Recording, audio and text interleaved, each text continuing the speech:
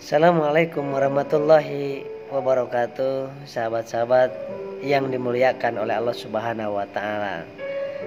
Mudah-mudahan sahabat-sahabat semuanya Selalu dilimpahkan Karunia Nikmat Dan diberikan kesehatan lahir dan batinnya. Di hari yang paling bahagia ini Di hari yang mulia ini tidak ada yang layak kita panjatkan, kita ucapkan dari lisan kita kecuali ucapan syukur alhamdulillah. Bahwasanya kita masih diberikan kesempatan oleh Allah Subhanahu wa taala untuk memperbaiki diri kita. Untuk menebar kebaikan. Untuk bersujud menyembah Allah Subhanahu wa taala. Untuk mencintai baginda yang mulia dan untuk berbakti kepada orang tua kita untuk berbuat baik kepada pasangan hidup kita, kepada anak-anak kita, pada sahabat dan teman kita. Sahabat yang dimuliakan oleh Allah Subhanahu wa taala. Tidak ada yang bisa membahagiakan hati kita kecuali Allah Subhanahu wa taala. Dunia dan seluruh isinya tidak pernah akan membahagiakan sedikit apa pun. Sekecil apa pun. Andai kata kita jauh dari Allah Subhanahu wa taala. Andai kata kita tidak dapat ridhonya Allah Subhanahu wa taala dan ridhonya Allah ada pada ridho orang tua kita.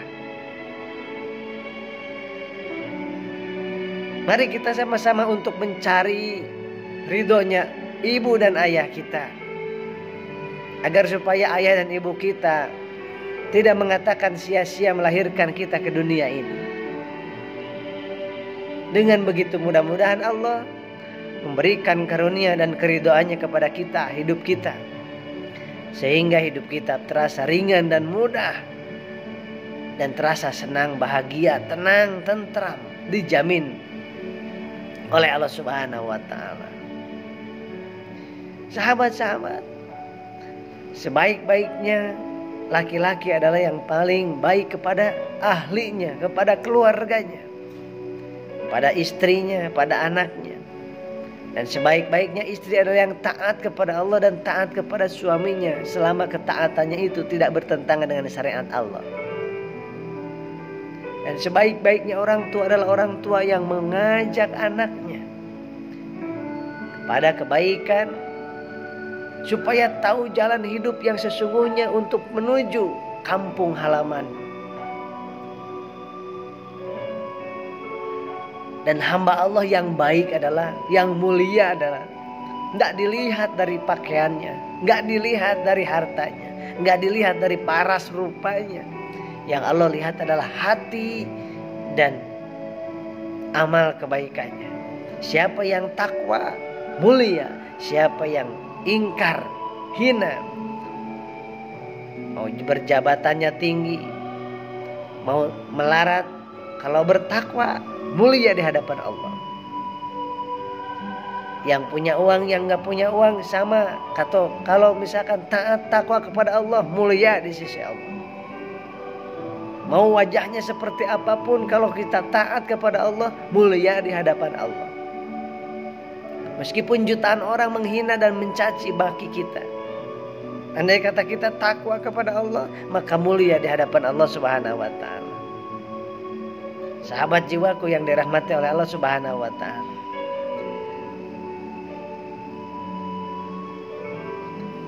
Sesulit apa pun hidup kita saat ini, separah apa pun sakit kita selama ini,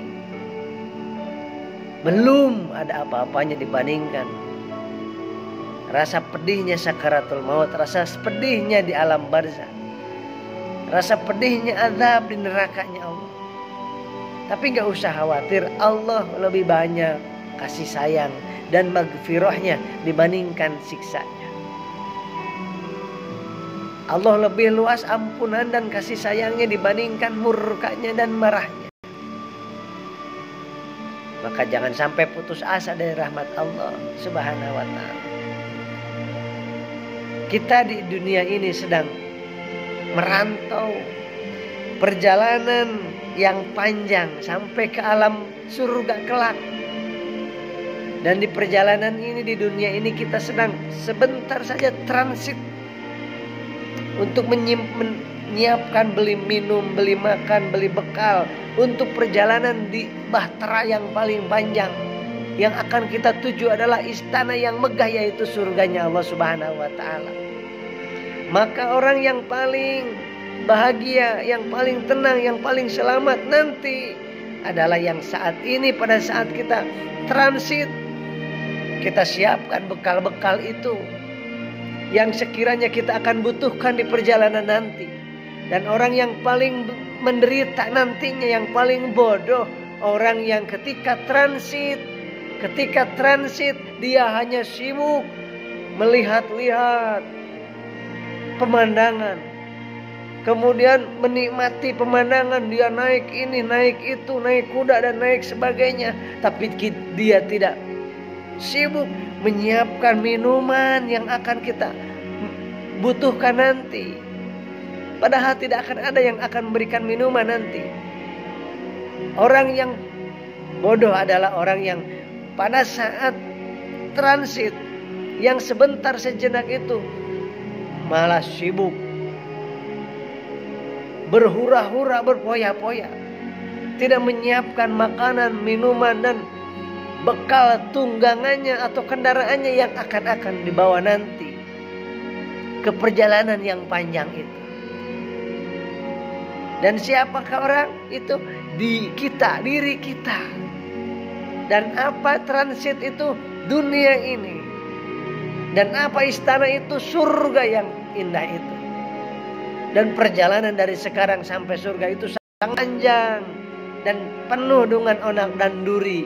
Pada saat kita diuji di pada saat kita transit ini, diuji dites oleh Allah. Dan musuh yang paling nyata adalah para preman-preman yang ada di situ. Para calo-calo yang ada di situ yang hayu kita ke sana, hayu kita ke sini, hayu kita main ini, hayu kita main itu. Dialah calo-calonya dan siapa calo yang sebenarnya yang di dunia ini adalah iblis dan atau setan laknatullah alaih. Dia yang akan menggusur kita, membisikkan kita supaya kita lalai tidak mencari minuman makanan yang akan dibawa nanti. Apa minuman dan makanan yang nanti akan kita butuhkan? Tidak ada yang lain kecuali amal kebaikan kecuali pahala dari ngaji kita, pahala dakwah kita, pahala sholat kita, pahala berbuat baik kita, pahala membantu orang, pahala peduli kepada orang, pahala bermajelis talim, pahala mencari ilmu. Itulah makanan minuman kita yang akan nanti kita butuhkan di sana. Dan tidak ada yang menjual di sana. Sekarang kita mari sama-sama bersiraturahmi itulah yang akan kita butuhkan nanti.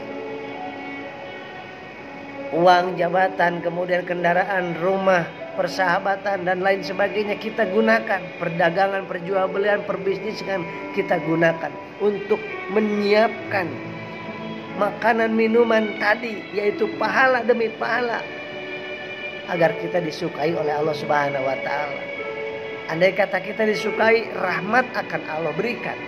Kalau rahmat Allah akan berikan, Allah akan masukkan kita ke surga dengan rahmatnya. Saya dan Anda sama-sama sedang mencari rahmat Allah. Sahabat-sahabat yang dimuliakan oleh Allah Subhanahu wa taala. Mari kita semangat untuk berjuang. Di perantauan ini, di transit ini kita berjuang habis-habisan untuk supaya Allah bagaimana Allah suka dan sayang cinta kepada kita. Bagaimanapun masa lalu kita, sebanyak apa pun dosa masa lalu kita, Allah Maha Pengasih, Penyayang, Pengampun. Allah tidak melihat masa lalu kita, yang Allah lihat hari ini ke depan. Yuk kita semangat. Jangan nunggu kita sehat dulu baru kita berbuat baik. Sekarang lakukan kebaikan. Jangan nunggu kita kaya dulu ingin berbuat baik bersedekah. Sekarang kita lakukan apa yang bisa kita lakukan untuk sedekah. Jangan menunggu kita bahagia dan banyak uang dulu untuk kita membahagiakan orang tua. Kita lakukan saat ini. Karena untuk membahagiakan orang tua enggak dengan uang, enggak hanya dengan uang, dengan muka yang baik. Dengan perhatian, dengan pelukan, dengan ciuman, dengan santunan kita. Itulah cara membahagiakan orang tua atau mertua kita.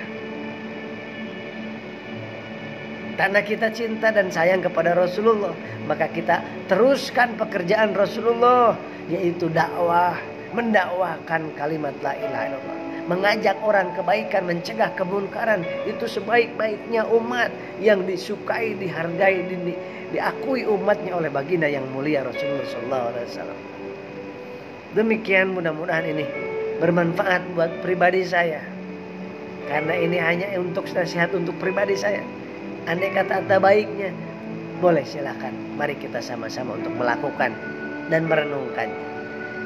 Demikian.